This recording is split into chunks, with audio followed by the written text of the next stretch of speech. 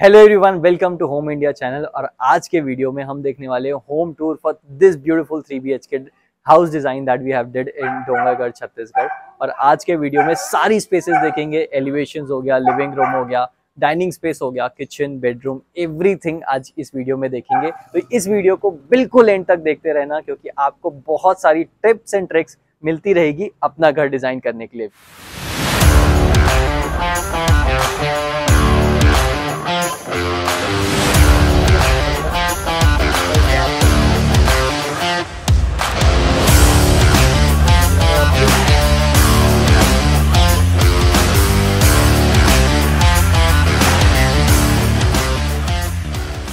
सो so, सबसे पहले हम घर के अंदर एंटर करते हैं तो इस रूम में एंटर करते हैं जो कि है living cum dining cum puja place तो सबसे पहले आके ये हमें कॉर्नर स्पेस मिलती है जो कि है लिविंग एरिया सोफा एरिया तो बहुत ही ज़्यादा कोजी बहुत अच्छा आउटकम मिलता है.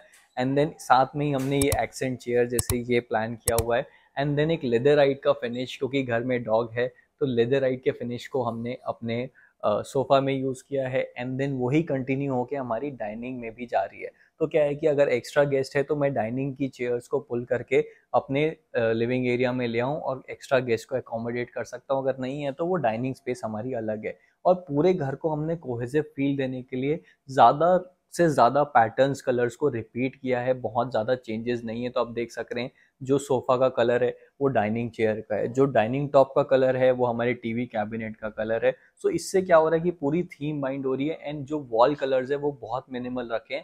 एंड देन सीलिंग का कलर हमने कॉन्ट्रास्टली चेंज किया है और उसको बहुत हाईलाइटिंग एलिमेंट दिया है, जो कि वो पूरे घर को एक बहुत ही अच्छा अट्रैक्टिव एलिमेंट दे रही है। और बेस्ट पार्ट क्या है कि मैं लिविंग रूम में एंटर करते ही पीछे डायरेक्टली अगर मैं जाऊँगा तो मैं पीछे डायरेक्टली अपनी गार्डन स्पेस में पहुँच जाता हूँ, जो कि बहुत अच्छी बात है, बहुत ही ज़्यादा अच्छा फील देता है, क्योंकि आप लिविंग से डायरेक्टली गार्डन स्पेस में कनेक्टेड है।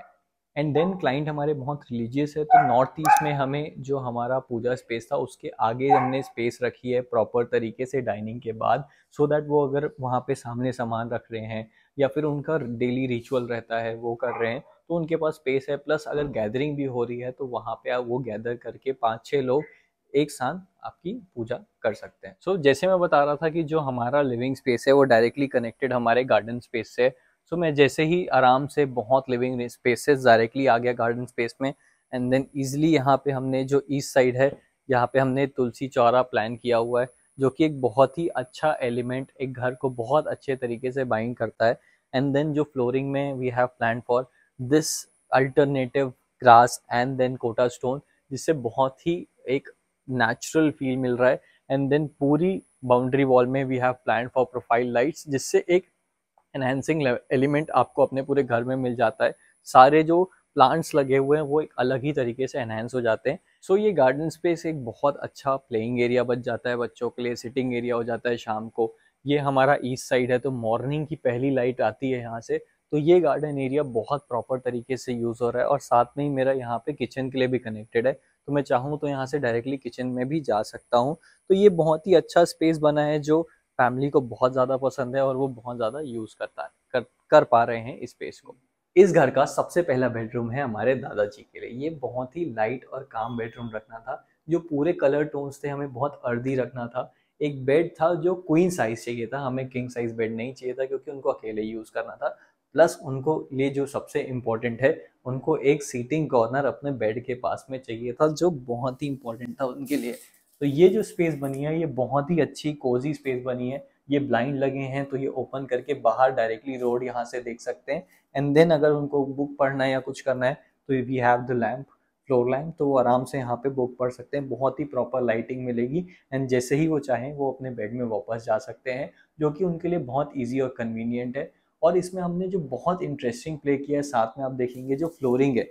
ये फ्लोरिंग हमने बहुत ही इकोनॉमिकल टाइल्स को एक पैटर्न में डिज़ाइन करके हैरिंग बो पैटर्न में डिज़ाइन करके लगाया है so that it is looking very luxurious even though it is a very economical solution plus अब मैं बाकी पार्ट देखूँ इस रूम के, उसको भी अगर मैं एक्सप्लोर करूँ साथ में तो ये बेड के साइड में जो पूरा सर्कुलेशन एरिया है, बहुत क्लियर है, सामने से सर्कुलेशन मैं सीधा वॉशरूम पे जा सकता हूँ। प्लस मैं इस रूम के दूसरे पार्ट में देखूँ तो वो स्लाइडिंग बॉर्ड्रॉप के साथ हमने यहाँ पे एक स्टडी टेबल बनाई है। उनको थोड़ा सा पढ़ने लिखने का शौक है तो उनके लिए अगर यहाँ पे बैठ के कुछ लिखना है या फिर वर्क करना है या कुछ भी काम करना है तो उनके लिए एक सेपरेट यहाँ पे स्पेस मिली है।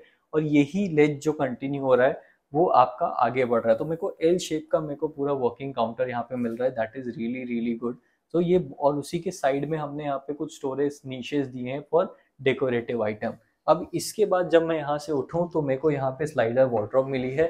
सो दैट इससे क्या हो रहा है कि मेरा कभी भी जो स्पेस है, अगर मैं ओपन करता तो मैं पीछे हो जाता, मैं टकरा जाता बेड से but because this is slider तो ये बहुत ही ज़्यादा मेरी स्पेस सेविंग सॉल्यूशन है, जो ओवरऑल रूम है, जो पेस्टल कलर है कोहेजिव लुक मिल रहा है, वो इसको बहुत ही ज़्यादा कॉम्प्लीमेंट कर रहा है इस लैमिनेट के कलर को। ये लैमिनेट कलर हमने वेलमेका का यूज़ किया हुआ है मॉव कलर जो कि पूरा एक अर्दी टोन था रूम का, जो ब्राउन शेड में जा रहे थे लाइट क्रीम शेड में जा रहे थे, उससे ये अटेंशन पूरी अपनी तरफ़ लेके जा रहा है। तो ये बहुत ही अच्छा space as a front clean मेरे को मिल रहा है। अब मैं इसकी कुछ डिटेल्स की बात करूँ तो ये जितना भी फर्नीचर है, ये सारा फैक्ट्री मेड मॉड्यूलर फर्नीचर है। ये बेड भी फैक्ट्री से बन के आया है एक्जैक्ट डिज़ाइन किया था। इसमें हमने यहाँ पे हल्का सा टेक्सचर्ड बैक यूज़ किया है फॉर थोड़ा सा एक अच्छा टेक्सचर बिकॉज़ ये बेड बैग को हमारा सर टकराता है, हम हाथ से छूते हैं तो वो एक टेक्सचर ऐड कर रहे हैं। ये सारा फर्नीचर फैक्ट्री से बन के आके साइट में दो से तीन दिन में इंस्टॉल हो गया था, जो कि बहुत बड़ी बात है। अगर साइट में बनाते तो हो सकता है हमें बहुत ज़्यादा टाइम लगता है। तो इसने हमारे ओवरऑल प्रोजेक्ट का टाइम भी सेव किया है। प्लस जो लूज फर्नीचर आइटम्स है लाइक चेयर्स हो गए लैम्प्स हो गए, ये आइकिया से हमने डायरेक्टली बाय कर लिया। सो वो आके सीधा सीधा इंस्टॉल हो गए। तो हमारी प्रोजेक्ट की टाइमलाइन शॉर्ट हो गई और जो आउटकम है वो हमें बहुत स्टैंडर्ड और अच्छा मिला। Next video in this series is for your modular kitchen tour and master bedroom design, जो already upload हो चुकी है और यहाँ पे आप जाके तुरंत देख सकते हैं इन वीडियोस को और ये वीडियो के टूर को होम टूर को कंटिन्यू कर सकते हैं। एंड देन इसके बाद हमारे को पूरी ओवरऑल 30 बाई 50 इस घर की प्लानिंग का वीडियो किड्स बेडरूम डिज़ाइन का वीडियो एलिवेशन का वीडियो आपको मिलेगा आने वाले सीरीज़ में। तो अगर उनको भी देखना है तो do subscribe home India channel for more such videos